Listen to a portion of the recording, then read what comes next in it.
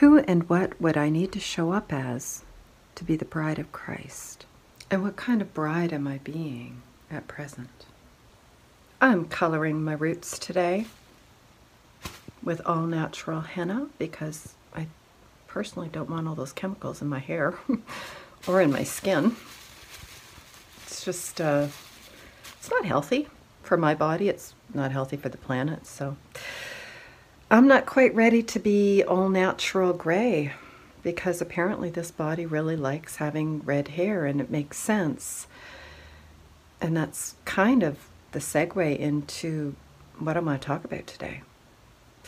Because what I realize is that this particular body is its own consciousness and has its own cravings. It's essentially, to paraphrase the Bible, hi, Pep. Hi, just give me a sec.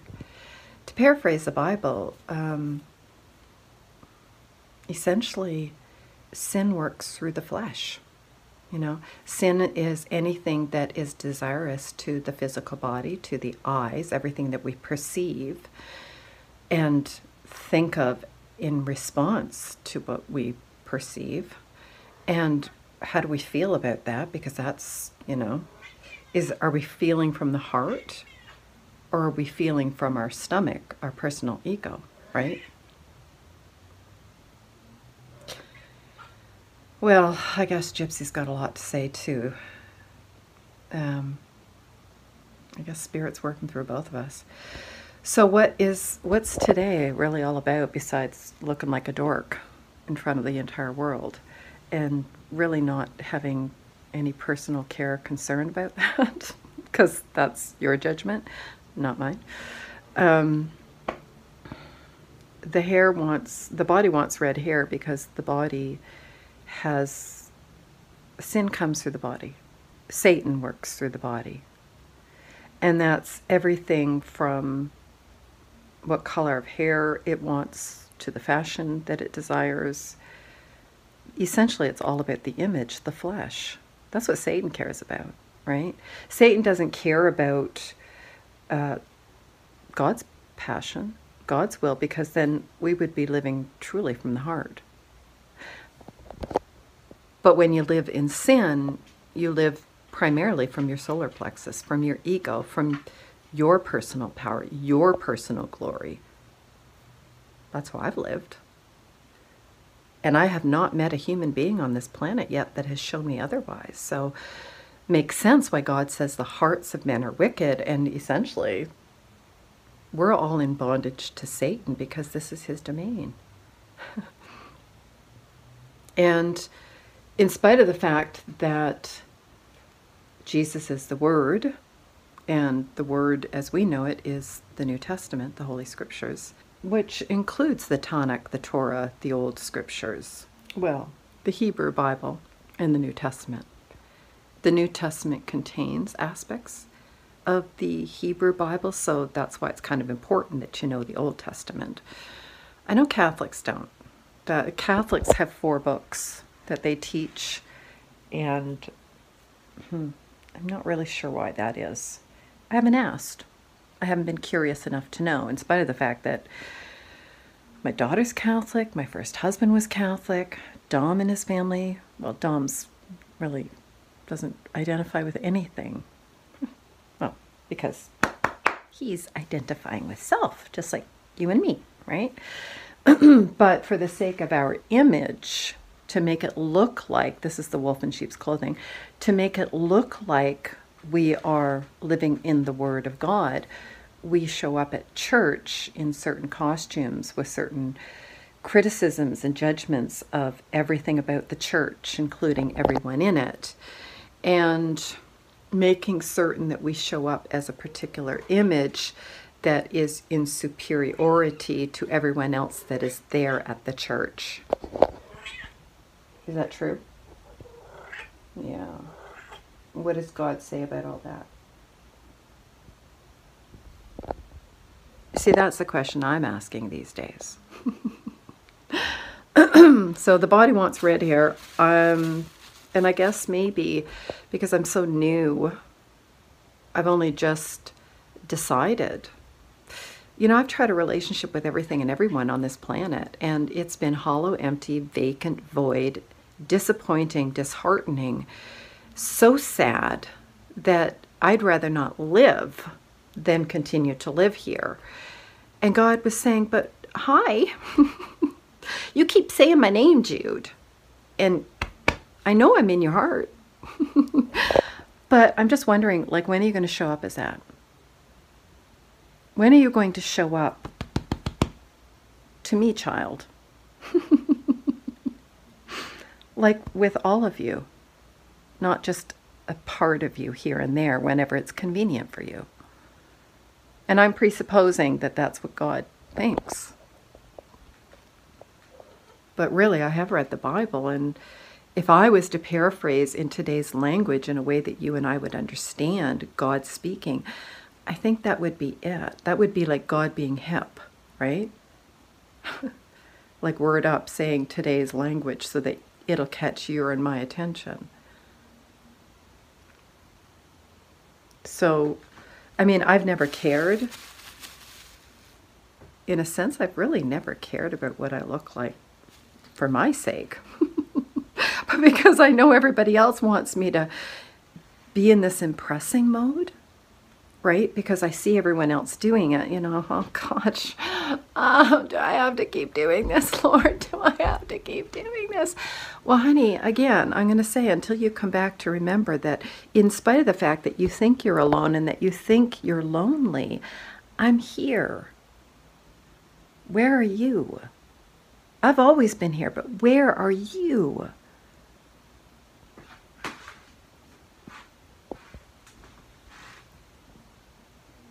I look around and I ask, well, that's a really good question, God. Where am I? Where am I in this life? In this life, and who, like, who and what created all that, right? Because I can't even take credit for all this. Well, where am I in that life and that? God, gee, that's what I keep saying is you. You're this vastness that I hear, I feel, I sense, I smell, I taste. And yet, ugh, I don't really walk with you. I listen to you. And I'm listening again to you. But I've never decided to come into the garden and walk with you. And I know it's because I know it's because I'm a sinner. I know that this flesh is nothing but sin. I mean, it's not. The body is holy because you created it that way. But you know, we're still in the Garden of Eden being tempted by the serpent every moment of every day. That wasn't just a one time thing with Adam and Eve, it's happening in every moment in your and my existence. Now, that's what I've become aware of. And so coming back to, you know, coming out in a plastic bag on my head because I do my own hair. You know, it was funny because that was not, when I was growing up, I, well, that's just what you did. you took care of yourself because you didn't rely on other people to do that for you because you're too busy walking around looking like God and acting like God and making certain that all the cameras are on you at all times. And yet we have a problem with CCTV, like being everywhere. Seriously? And yet we pull out our phones and, you know, oh, I'm doing a video for, you know, everybody to look at me. I've done it. I've done it. I've, I've I have done this on this channel. and it's like, wow. yeah. Who and what and where am I? So, coloring the hair and still working through that trying to understand why am I letting the body Satan through the body because it's still about beauty and image. Right? I'm I don't know. Maybe God talks about women, her hair is her adornment, and it's not that the adorning of the hair is evil, but the intention that most of us women and men have lived in with the adornment of the hair has become evil because it's all about I need to be God in your eyes. I need to look so beautiful, and it starts with the hair. Well, as an older woman, it does. And then our children who we're raising, they see that and they mimic it, and so it becomes just their daily habit, and you know, it's it's normal. And then it's, well, then it goes to makeup and hair. So it's all about the image, right? To the point where today I discovered, not this gentleman, uh, a young woman who I'm sure really truly loves God and Christ in her heart, but did a video on what she's wearing to church. And I just, I wrote it to her. I can't stop myself anymore. It's like, imagine if Christ showed up to his 12 apostles and, like, well, guys, look what I'm wearing to church today. Is that who Christ is for you? I don't know. I don't know. I I I heard about Christ once as a child, and then I read about Christ once as an adult, and now I'm going back to Christ as an adult because I'm like, whoa, Jesus, I apologize. On behalf of humanity, I apologize. Because who you are and who people say they are, as Christ, as living with Christ, I don't know, I just keep hearing, "'Twas better to have never known me than to profane against me. I don't know. That must be a passage in the scripture. I don't remember. I just, maybe I do remember, but I don't take credit for it. right?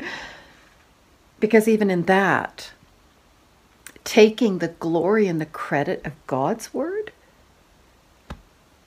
that's now I'm claiming it. I'm going to be the God. I'm going to show up and I am the representative of God. I thought I was supposed to be like a little child and just ask questions and listen. And take the hand of my father and walk in the garden. And, well, what do I do when I'm in nature?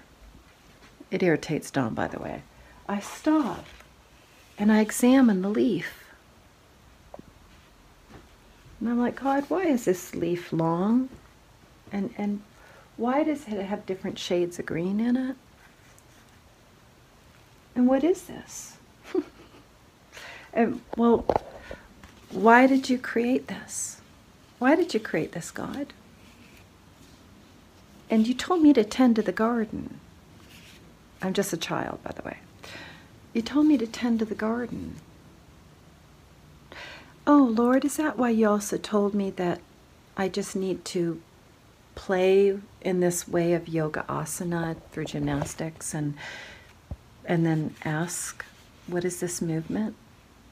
Who and what does this movement belong to? Who and what does this energy belong to as I'm, you know, in back bridge? My spine's tightening up, my eyes are getting wider, and I'm like, ah! why am I so scared in this posture? What does that what does that posture do for whoever it is that I'm claiming I am as you? because I'm pretending I'm God. And yet, when I'm in wheel or back walkover, if you're a previous gymnastic or current gymnastic, um, why am I confident, more confident this way than this way? Well, who and what am I seeing at this angle in life? I'm seeing all of you.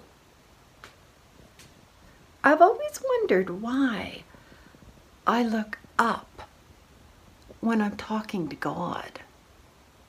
And why, oh my gosh, I have to strain so much. My core is so weak. And I have to bend backwards and get support with my hands, lest I be completely crushed. And yet I find in that back wheel, if I can let go of all the tightening in my spine and the fear of being so exposed to who and what? To God. I, I can't do anything or be anything to impress God. But I can do that to all of you, and you can do that to me. How do you impress the Creator? I mean, stop and think about it. Do you think that you taking the glory of everything you show up as is impressing the Creator? It might be impressing the Lord, Satan, that's ruling over this worldly, materially dimension. Materially dimension, yeah. Because, you know, this is his punishment for himself having done that to God. We're his offspring. so, like, what master am I serving? Like everyone else on this planet, I have been serving the master, Satan. And so have all of you. And so are all of we currently. So, you know, this was the most terrifying pose for me of all the gymnastics or yoga asanas or gymnastic postures. I even had fear getting into that posture because it was, oh, good Lord. I thought I was God. I mean, I've heard about you, but they don't teach you anymore. I mean, pff, you're so far out of the equation, and when you are in the equation, well, it's all to impress this world. Because I still haven't yet realized how deep in sin I am. So I'll, sh- I'll pretend to show up as a Christian and I'll pre- pretend to show up as all the other religions and non religions and no religions. But I'm, I'm, I can't help but wonder, like, what is it going to take for me to truly show up?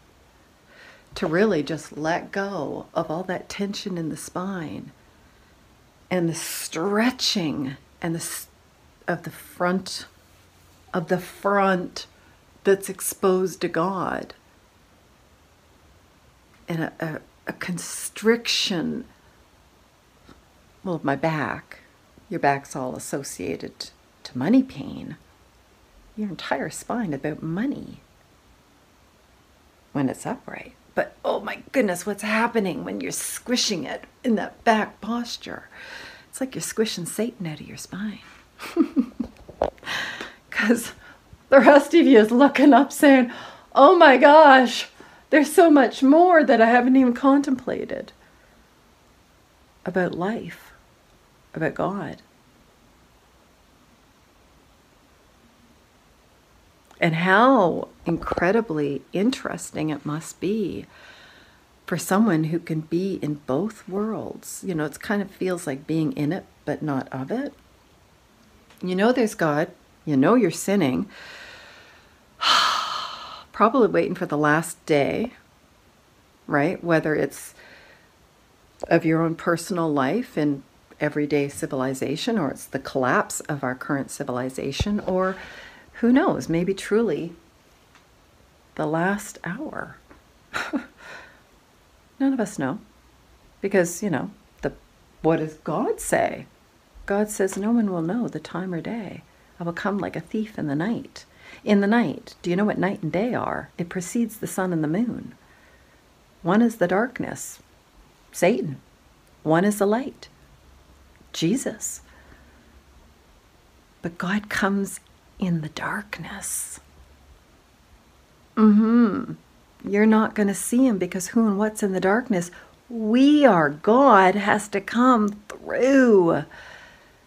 I mean, I don't know if you've noticed, but God's not here. In the, in the early part of the scripture, he left.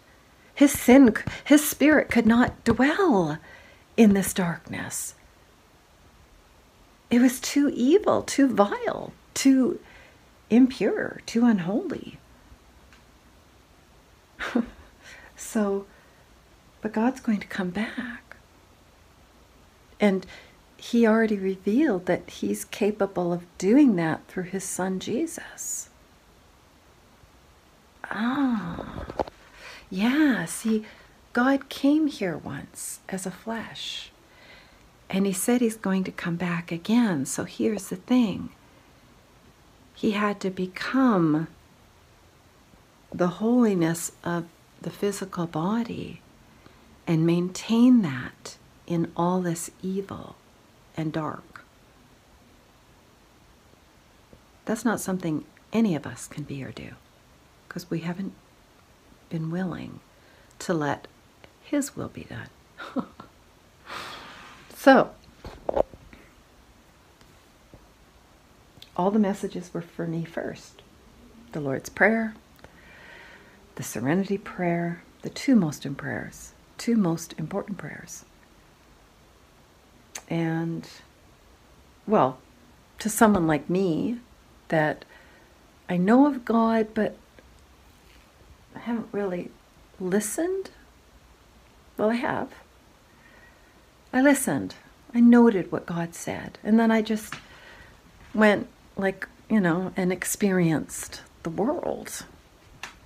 All these different material things and who I had to show up as why do I not want to show you my bed? Ooh, that's icky. Yeah. I'll go there in a minute. I'll go there in a minute. But with me first. You always second. Who and what do I have to pretend to be on this plane? In this earthly satanic material, but it's not. It's not. The earth isn't sinful, it was cursed. The ground was cursed, but the earth itself is not sinful because God created the earth and the heavens. God created everything. So it's the world's not sinful. We say that. And why do we say that? because we're projecting our sinfulness out, refusing to take accountability from within. Who and what am I without breath? So, who and what is breath that sustains me? Because without breath, do you really think that I would be alive to experience hair? And wow, God created these plants and look what it does to the color of my hair. Wow, thank you, God. Wow, God, does this please you? Does it delight you that I have red hair? You know, I really don't care one way or the other. I do, because it pleases you. But what I say, I don't care, it's, I guess I don't care in a world of sin, the judgments that people have of me, because it pleases God. So that's where I step into, well, that's an interesting point of view, that you have that point of view. And I wonder what else is possible. Not just for you, but also for me. Because if, if I get out of judgment, and if I get out of all this carnal sin, the sin of the flesh and the eyes and pride, then I can truly just say, hmm, the hair is red. I don't have to judge it. And you can come up to me and say, it's like, you know, God, what color is this? Green. Oh, green. It's red. Oh, what color is this? Oh, it's red. Oh, well, what does that do? What, what does that mean to you, God? Because I can spin up a hundred thousand stories, but I didn't create anything. I don't know how to do that. I don't, I don't know how to create this. And I sure as heck don't know how to create this. So if I don't know how to create it, then why am I taking all the glory for it? This is the path I'm currently on. And how I show up day to day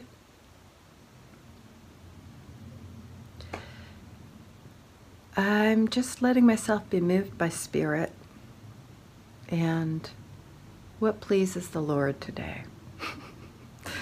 so I guess that's how, as an image, I will show up. And maybe note your judgments, right? Of everything that you see and hear and say. And what does that talk about you? as a person in a material world versus you as the spirit of as something that is created by God. Because I don't know. Honestly, I don't know what who and what a spirit is.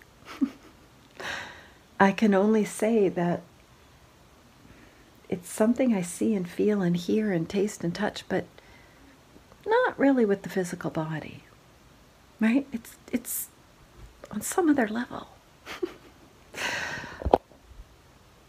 but so are all the sins. So are all the desires. So are all the daily thoughts and the me, me, my, my.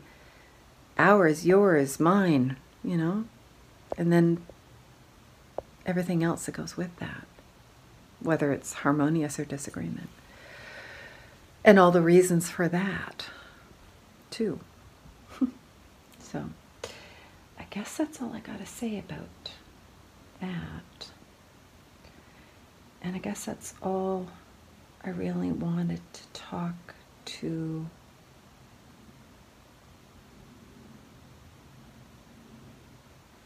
to me, to God today. When I speak, I know it's to hear myself not to be impressed by all of you. It's to hear myself. Because God has taught me how to speak. Um, I, don't, I don't know, did you take credit that you could teach your kids how to speak? I never did. because I can't take credit for how I know how to speak. That's, God gave that to me. God gives me the words, God gives me the language. God gives me the comprehension to read and to write, to know. I, ta- I can't take credit for that. So, you know, where is my speech coming from? That's not something you can answer. That's something only God can answer for me. if God's willing to answer and and maybe God's willing to answer, but maybe I haven't yet grown. You know, because I'm a child in the garden with God. Yet, unless you become like little children, and I grow. Just because I'm a a physical adult in this as this body as you and I claim we are. You're hungry? Okay, for food. Yeah. What time is it? 11.05. Okay. All right. Just two more minutes. Three? Uh, two minutes. I better wrap up.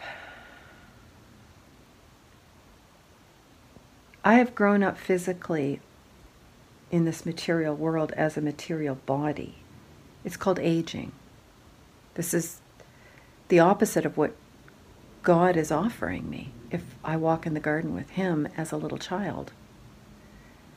That I age in a different way. Not the physical body. The physical body doesn't have to age then. But something else matures, becomes wise. That is not anything I've experienced in myself or any other human on this planet. Not in the 57 years that I've been alive. So, whatever your perception of the world is right now, whether it's your own personal can't pay my bills because you're in that's where you be or it's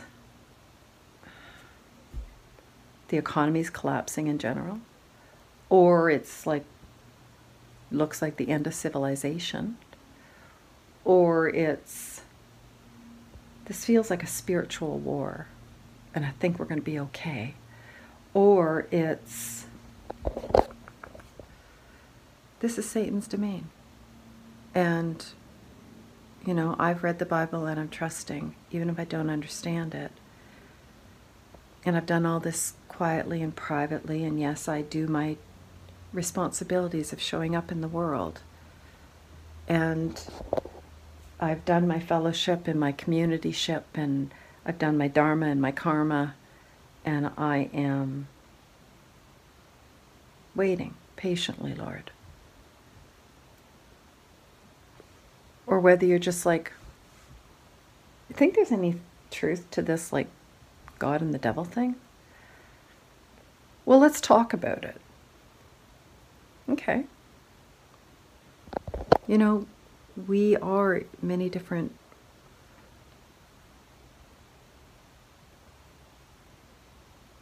variations of sin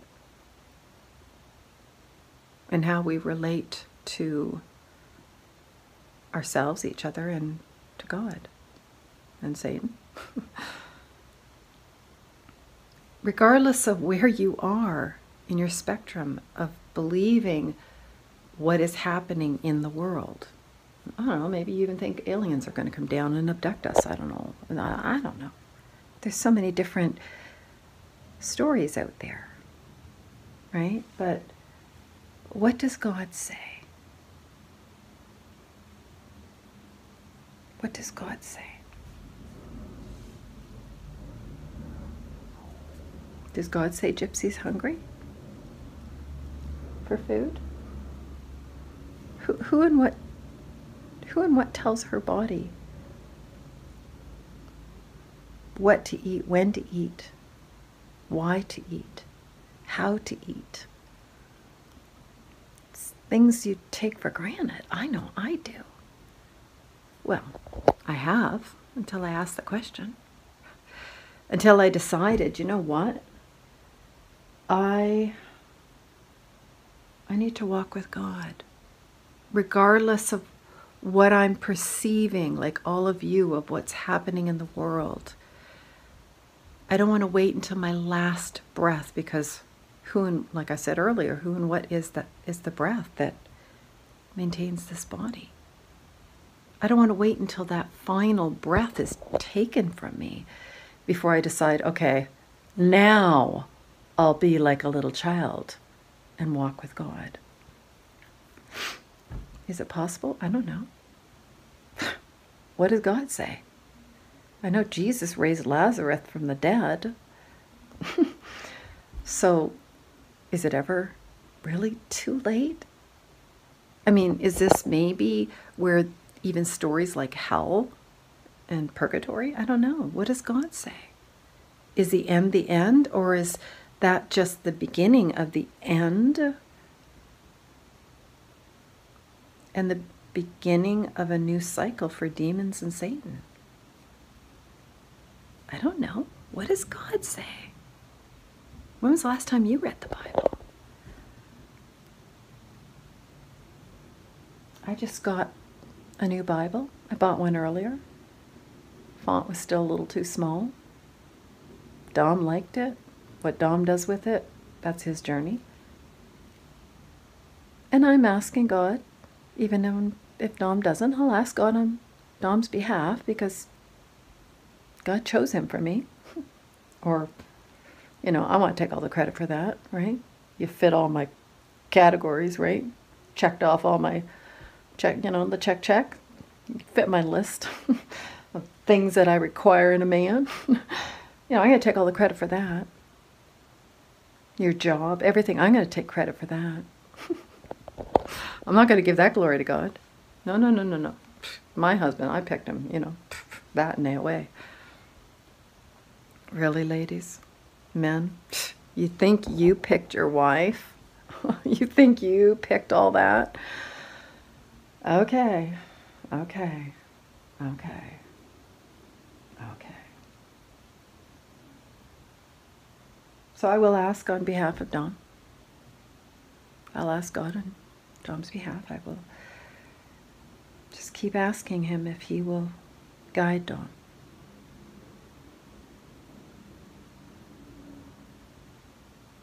If he will guide Dom. And he does. And yet, like you and me, Dom just keeps dropping into sin. He hears God. And sometimes, you know, it's like Murphy's Law one out of eight times. He'll obey.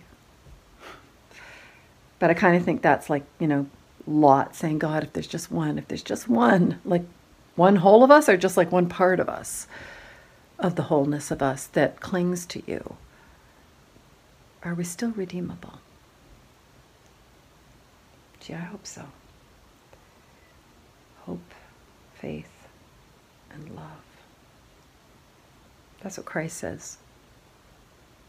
Right? So that's where I, that's the hope that I'm hoping for, not the hope which is really hopelessness in disguise of well, I really hope I get this this uh, job because you know I want this and this and this and this and this. I want it for me. Right? But it's the hope where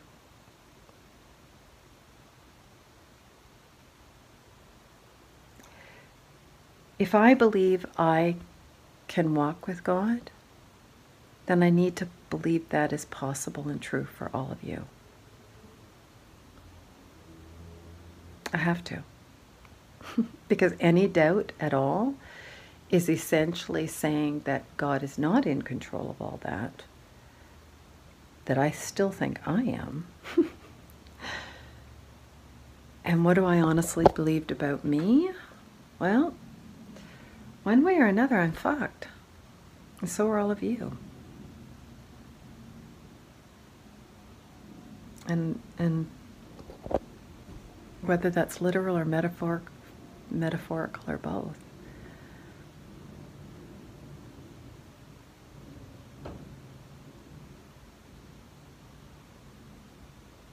And yet, what does he say at the end, right? Yeah, are we are we destroyed? I don't know. Maybe you should go read it. I should read it too. Which is why I bought the original Bible and gave it to Dom and then bought a larger print Bible that I can actually read. I mean, I bought the New Testament first and the font was good for me to see it, you know, without having to wear glasses. Right?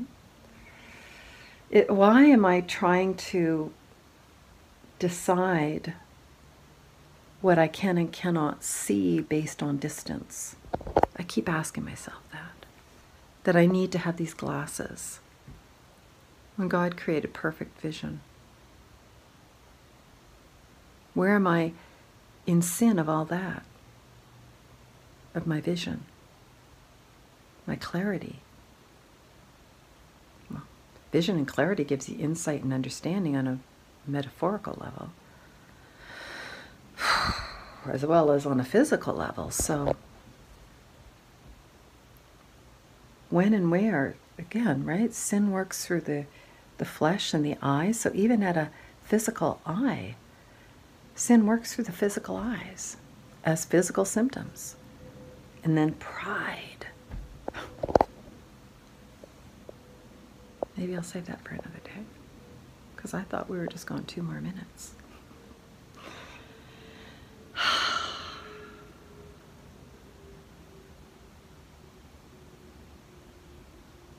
because I was trying to dictate that. God speaks, I guess, to me because I keep asking questions and I have to keep being humble and saying, Thank you. Yes. What other questions do I have about what you just said, Lord? Was I really listening to you or oh, I think I was listening to myself again, God. You know, meditation, you know this as monkey brain, right? In access consciousness, this is well, who or what are these thoughts and whom what do they belong to? All sorts of different ways to conclude the same message to whatever way that we understand the message. But essentially, for me, it's, oh, yeah, I was busy listening to me, Lord. I know what that's like because, you know, I see it with me and Dom. And I'm grateful for being able to see it because then it's like, where am I doing this in my life with God? Because I've decided I'm going to walk in the garden with God.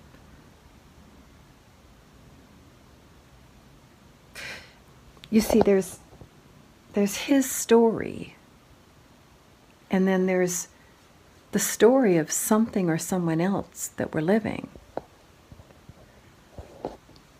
And it's called Satan. Satan's domain. It's God's earth. These are God's holy bodies. But Satan has profaned it all through the flesh and the eyes and pride. Pride. I think that's one I'm going to go sit in now because it's time for me to get my color out of my hair. It's time to feed Gypsy. And, ooh, I suspect I am horribly sinful in pride. What is pride? Gay Pride Day. What other Pride Days do we have? Flag Day, maybe? A lot of pride in our nationalities. A lot of pride. Ooh. What does God say about pride? That'll be our next subject.